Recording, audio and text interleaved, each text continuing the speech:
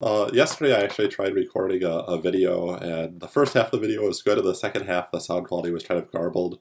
Um, I guess I've just been having weird problems on my Mac ever since I updated to uh, the Catalina version. So anyway, I'm going to give this uh, the second part of the demo um, a retry, right, the coding part. And what we want to do is we want to go to this page here, and we want to automatically extract all of these links. And once we have those links, we want to go to all of those pages. And we want to be able to pull out all the data in each of these uh, sidebars, right? So we're going to pull out all that data the, and, uh, from the sidebars and then ultimately put it in some sort of uh, data frame uh, that we could do analysis on. Okay, so th there's the three parts to that. Uh, the first part is how can we extract all of these links here. So I'm going to copy this starting URL and head back here. And I'm going to need a few things. I'm going to import requests. Uh, this is for downloading the HTML. And I'm going to say from BS4, Beautiful Soup 4, import uh, Beautiful Soup. And that one is for parsing and searching through the HTML. So we need both of those. All right, so this is my starting URL. So it's that one. And uh, stage one is to extract all the links on the page. so maybe the first thing we should do is we should uh, use requests to try to download it, right? So I'm going to say requests dot get URL, and remember that this gives me back a response object, like so. And uh, whenever I get a response object, the first thing I do is I say raise uh, for status. So that way, if I have like a typo here or something like that, um, I'll notice and I'll actually go back and fix it instead of just analyzing the status page, the 404 status page. Okay, so I have that. Let me look at response.text afterwards, right? That's not a, that's not a method, it's just an attribute that I can look up. And I get this big string. I, I could try printing this if I wanted to. And, uh, and there I go. There's a bunch of uh, text for the page there. Okay, so now this next part is I would like to use Beautiful Soup to get a model of that page, right? So I'm going to say um, you know, I could say like page or document or something like that equals a new beautiful soup object. And, and here there's always two pieces. There's, well, there's a HTML string, and then the second thing is always HTML.parser, right? So you just remember this. The second argument is always that string. And in this piece, well, where do I get my string? Uh, I could just use response.text. All right, let me paste that here. And then if I want, instead of looking at this, I can use the beautiful soup object to uh, reformat the code in, in kind of a more easy to read fashion. Let me print that. Right, that's just doing some minor reformatting. It's kind of putting white space where I might expect it. I have some indents here.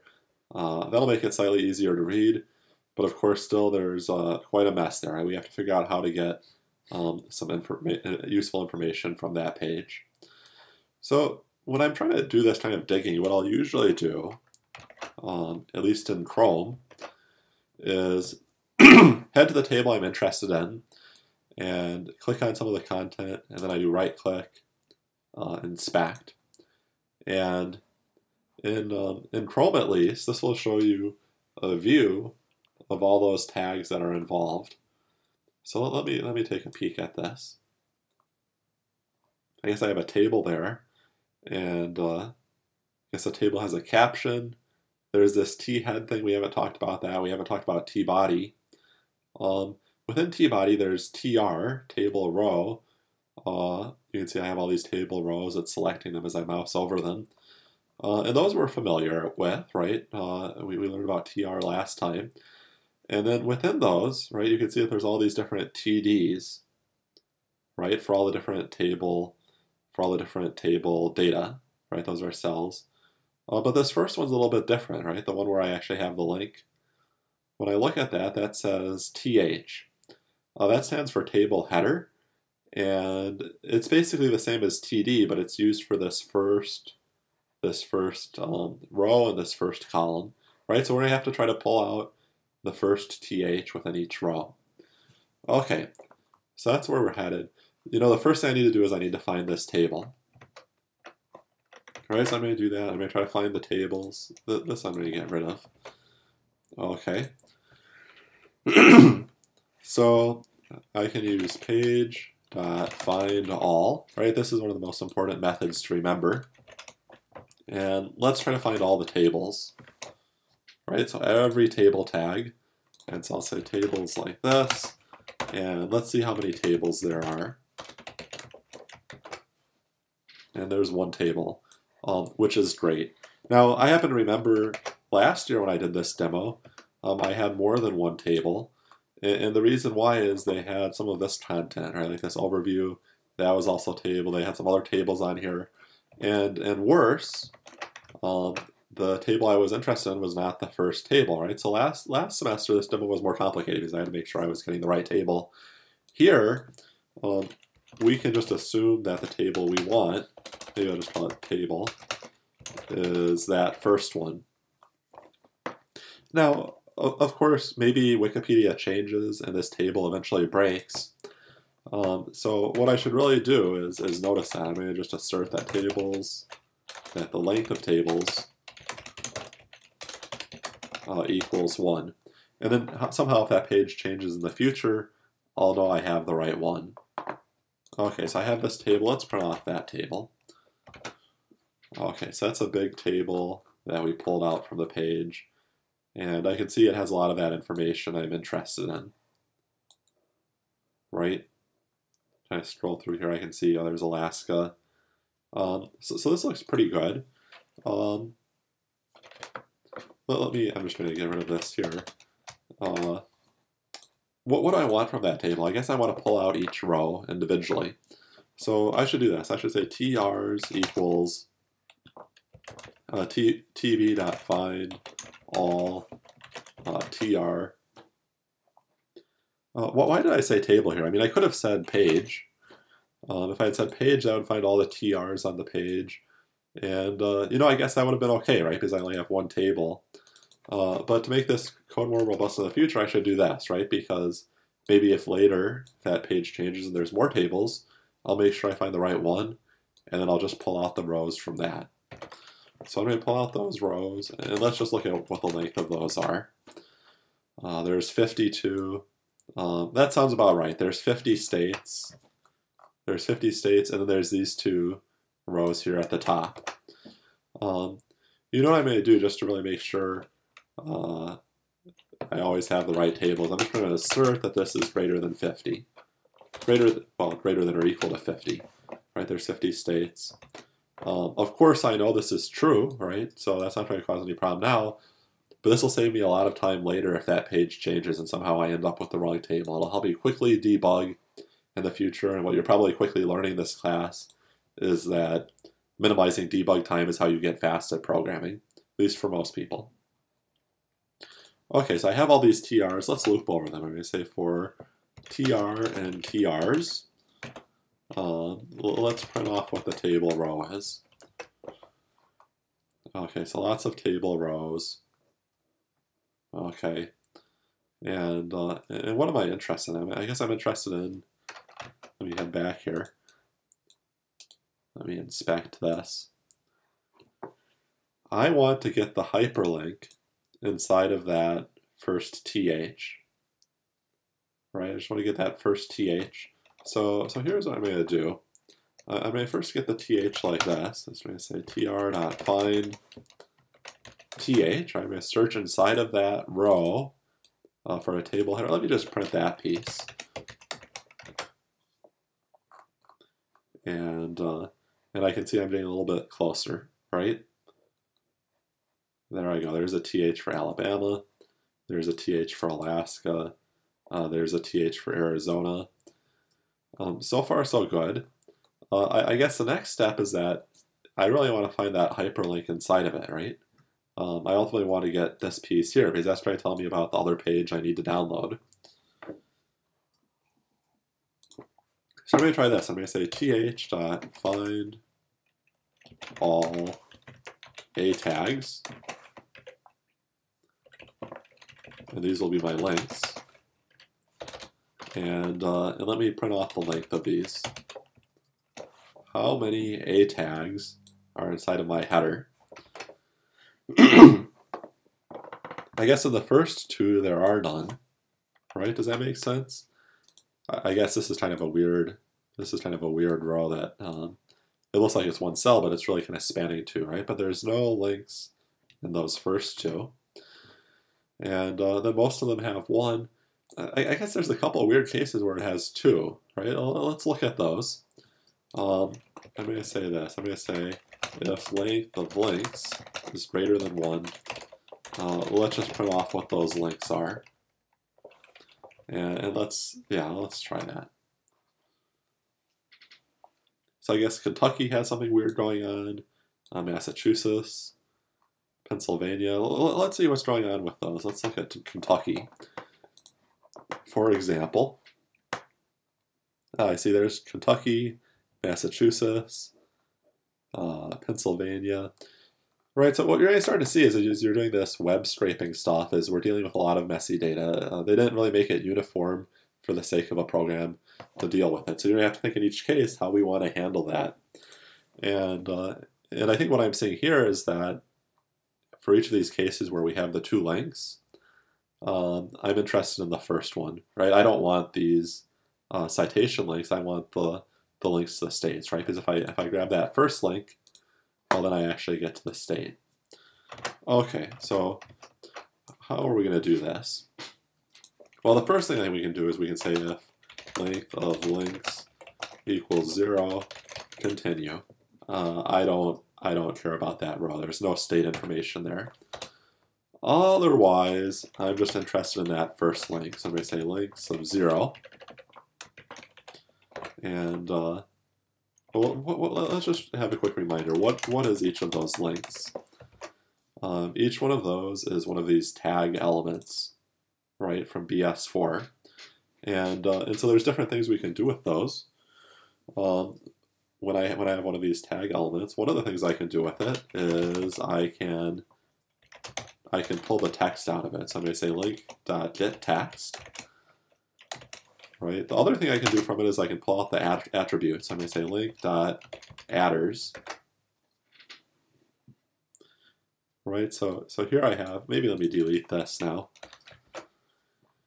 So here I have the text inside of it is Alabama, Alaska, so on. And when I look at the adders, the attributes, then I get this nice dictionary, uh, which is exactly what I want because that's trying to give me the hyperlink reference. See that? right? Some, sometimes sometimes they will be more complicated, right? Because they need to distinguish: are we talking about Georgia the country or Georgia the state, right? So I have the nice simple names and then the exact location where they are. I can't always just assume, like it is for Florida, that that the link is directly based on that, right? That's why I need to do all this um, work to try to figure out what the links are. Any others like that? Yeah, there's New York the state and New York the city right? So it's good that I'm, I'm kind of grabbing both these pieces of information. Okay, well, so here's my dictionary, right? That link.adders is this whole thing. And uh, what I'd really like is this, that I'd like to pull out that value. And href is the key associated with that. So what I want to do, I want to pull out this href piece. Let me paste that there, run this again. And, and now you can see for each state I'm grabbing the link for it. Okay. So so let, us do this. Let's um let's uh I'm gonna create a new dictionary, state links.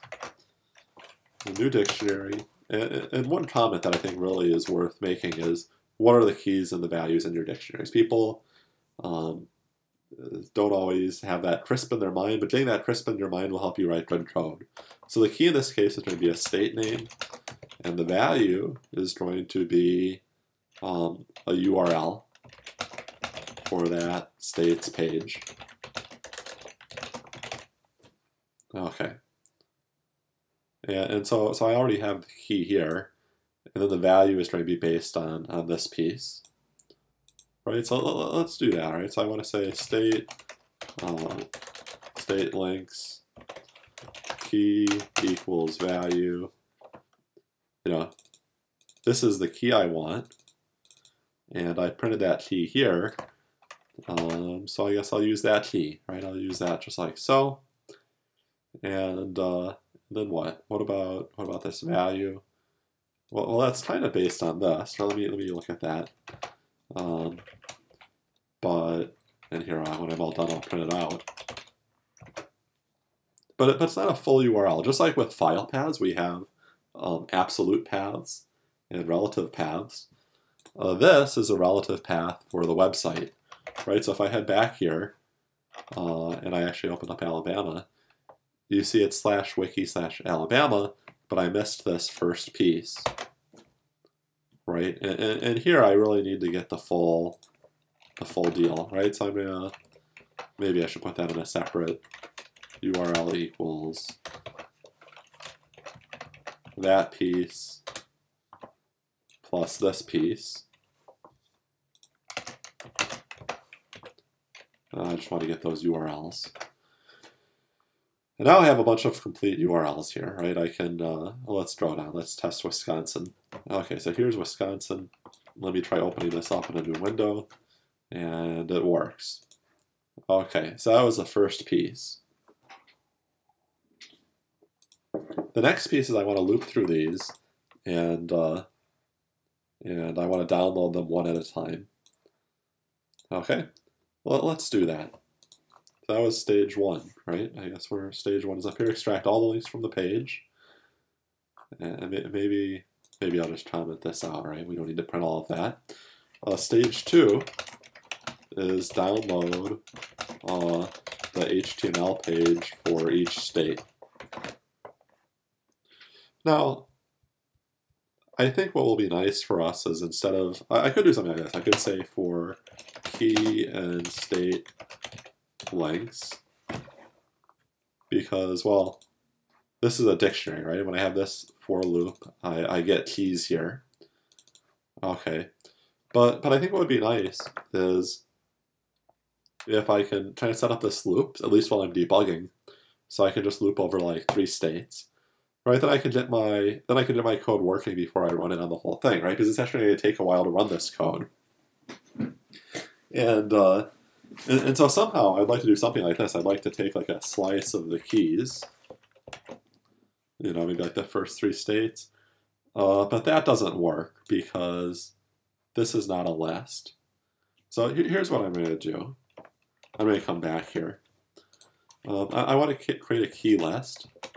Maybe I'll, I'll say like a state name list because my keys in this case are just state names. So maybe that thing and I'm going to convert that to sorted order. Uh, with sorted, I mean, usually what we do is we give it a list, and then it makes a new list in sorted order. But what's cool about it is that even if I give it something that's not a list, as, as like something I can loop over, it will not only convert it to a list, but it'll sort it for me, right? So, so this will give me a list of all those states, and uh, and that's what I want to put here. And here, I, you know, I should just call this state name. Let me just print off those state names. That works great, doesn't it? Right, so I could do five. And you know, when I'm all done, right, going to troubleshoot with just a few. Uh, but when I'm all done, I'm going to get rid of that slice and I can do all of them. Okay, but first let's just get it working for the first three states. I'm going to say to do, remove slice, this is just a note to myself to fix that up at the end so I can make it work for all the states. Okay, so there are all the states. And, um, and what I want to do is I want to download the, the URL that corresponds to it. Right, so this was my dictionary. Uh, there's my dictionary. And so if I put a key here, let me just look at this again. I like to refer, refer to these. Okay, so the key is the state name, right? So if I put a state name here, I'm going to get the URL back, right? So if I if this is the state name, then this whole thing will be the URL. Right, so I'm going to put that state name right here. That will give me a URL,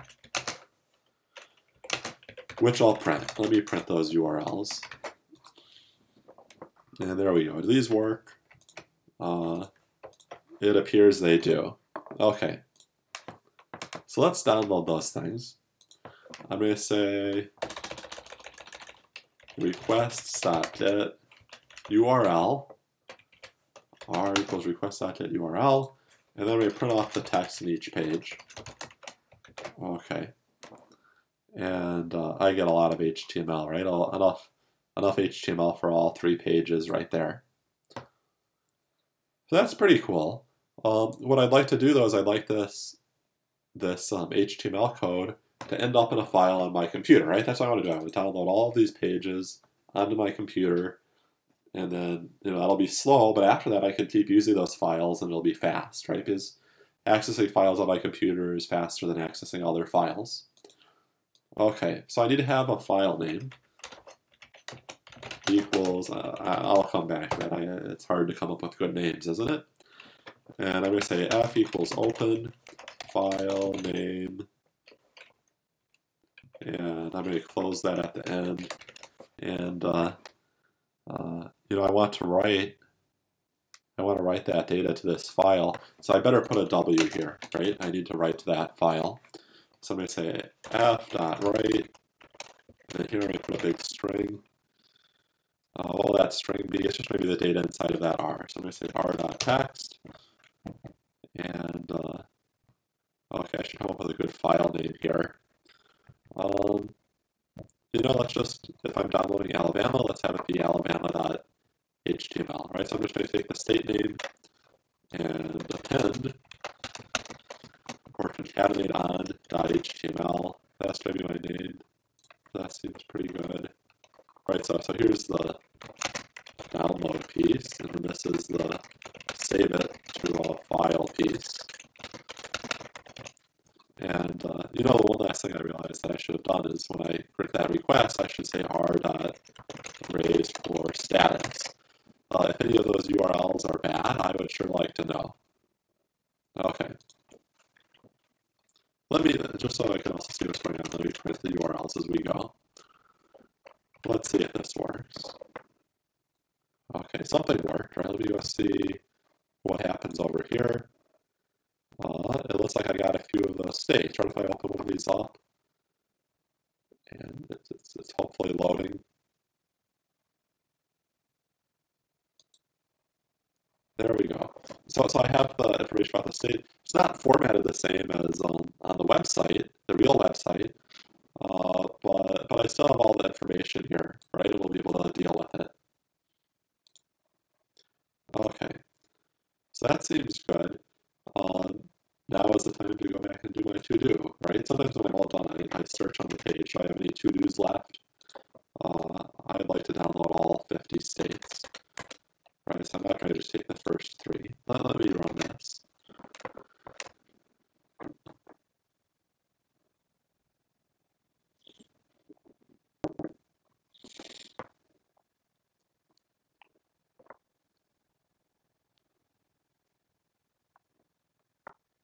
All right, there we go. And, here I have all my states. Let's check. Wisconsin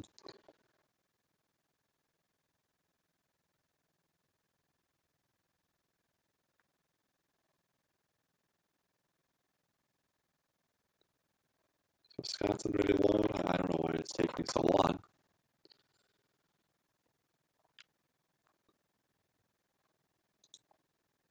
There we go. Okay, there's Wisconsin. Okay. Now, now, one last detail here that I think is important is, well, I mean, let's say this was a bigger loop. Let's say I was downloading um, like 50,000 things. And let's say somehow I lost internet connectivity or it crashed in the middle and I have to restart, but I've already downloaded half the files. Um, is there a way that we can make this code more efficient? Um, in particular, like let's say that this program is running and I finish like half the job and then I get interrupted. is it possible when I could just kind of pick up where I left off instead of doing everything, doing everything again? And, uh, and the answer is that yes, I can. What I want to do is figure out whether this file already exists. If it already exists, I don't want to do, that do this download work again, right? So, so somehow before I have this, this is the expensive piece, I have to check if this file already exists. So maybe what I'm going to do is I'm just going to pull these two pieces out. Uh, let me pull the file name up there. And let, let me also grab that URL. Okay, changed anything yet. I'm just moving around lines of code. And right, what, what is the big goal here, right? We want to download from this URL and write to this file. What I'm going to check is, is, is do I already have that file? If os.path.exists, file name, and then continue, right? I don't want to do that one. So let me run that. And, uh, oh, you know what? I forgot to import OS. Uh, it's good style to do that up at the top, so here I'm going to import the operating system module. Let me try this again. And uh, oh, what happened there? Um, you, you, know what I should do is I should uh, put the state name up at the top, right? That's how we can make, tell it's making progress. Okay, let's look at that. And, and you see it's instantaneous, right? Because I already have all those files downloaded. Uh, but what if I hadn't? What if I had, um, uh, let's say I've been missing a few of these. We'll say uh, Wisconsin, and we're missing Texas, and we're missing Oregon. Let's delete those. delete those files. Yeah, let's delete those three.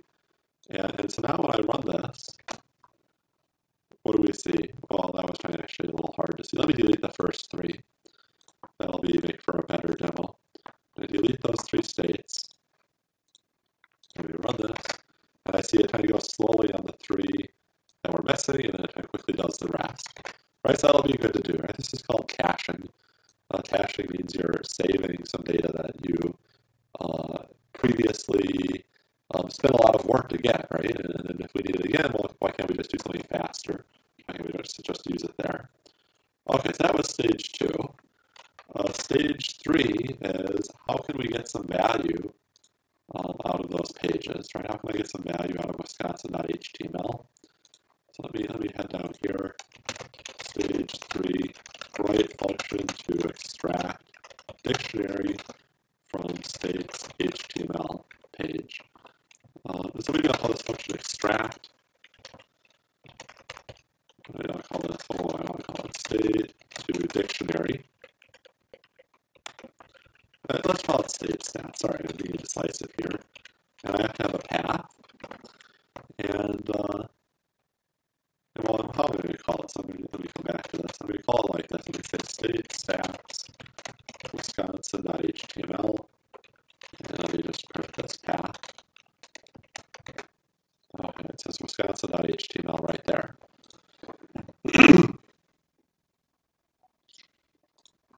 okay, so I want to I want to pull some data out of this thing. Example, let's say I want to find the capital of Madison or I'm sorry, the capital of Wisconsin is Madison. Where, where will I find this information? Um, I'm going to say inspect in Chrome. And I, I, see, well, what do I have? I have I have these two pieces. You see that? Let me let me shrink this down. I have the left left piece could be some sort of key, and that right piece could almost be some sort of value. Um, I guess uh, can you see, I, I, can't quite see it. Look over on the left. You see how it says TH there, right? So I have a TH where that's containing my key, a TD that's containing my value. You, you know what I'm going to do is I'm going to look for all the rows on this page that have two pieces like that. And whenever they have two pieces, the left piece is going to be my key, and the right piece will be my value. So let's try that. I'm going to say document equals beautiful soup uh, here I need an HTML string and HTML parser. Uh, well, where does this come from now? I mean, let me let me look back before. before I got that HTML string by doing a web request, didn't I? Uh, but that's not the only place I can get an HTML string. In this case, I've already, uh, because of stage two, uh, downloaded all these files to my computer. So I'm going to, instead of getting this from a new web request, I'm just going to grab that data from my from my file, right? So I'm going to say f equals open path, f dot close, and I'm going to say HTML string equals f dot read. Everything in that file goes into that string, and then I'm going to use it here. And uh, maybe, maybe just to make sure this is working, I'm going to say uh, dot dot prettify. Okay, so I'm pulling all the data out of that. Uh, now I want to use that thing to um, to get my rows, right? So I'm going to say trs equals dot dot find all tr. I want to look for any any row with two columns anywhere on that page, and I'm going to have that be part of my dictionary. And uh, and well, let's loop over those things. For tr, table row, and table rows, let's just print it. I have a bunch of those. I want to find those cells, right? Um, so let me try doing that. We say tr dot find all.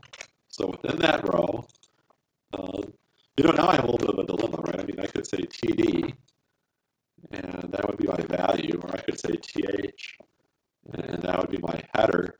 R really, I, I, don't care whether they're using td or th. I just want either of those things. And uh, and Beautiful Soup actually lets you do that. You could say, I want either of these things inside of that row, right? So I'm going to say cells equals that. Well, let me just print the length of these cells. Uh, oh, I'm sorry, I said I wanted to print the length of them, didn't I? Right, so lots of different tables, but all these twos, right? Those all those twos are probably that case where I have um, a key like Madison. I'm sorry, a key um, like capital and a value like Madison, right? So those are the only ones I really care about. So I'm going to say if the length of cells equals 2, uh, then I want to get a key and a value from that. And then, then I guess here, what will I do? I'm just going to print both those things. I want to print the key and the value. Okay, well, I think my, my key comes from that first cell, so I'll say cell 0, and I just want the text inside of it. That other one, right, that second one, I'll get the that. Let me run this.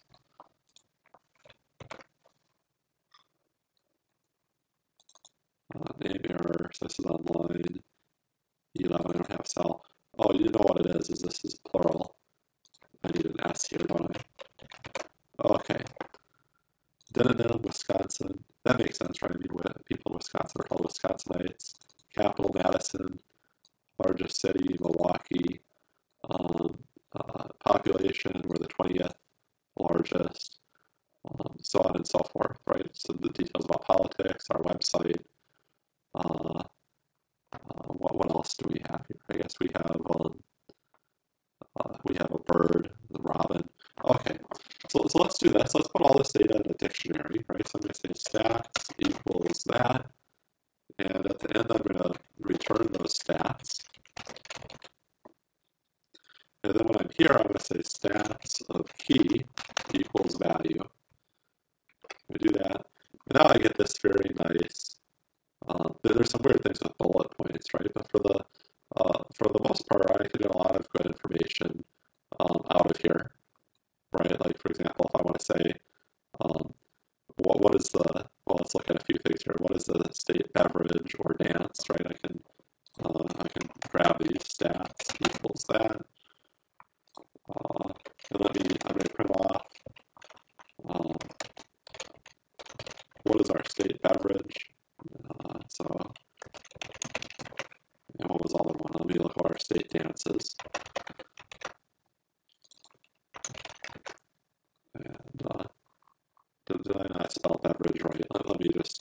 Wisconsin stats again. How do I spell beverage? Uh, did I not spell it that way? Let me try that one more time. Oh, it's capitalized. That's what it is, isn't it? Let me let me try this again. Let me try that. So, say the state drink is is our beverage, and uh, the state dance. What is that one?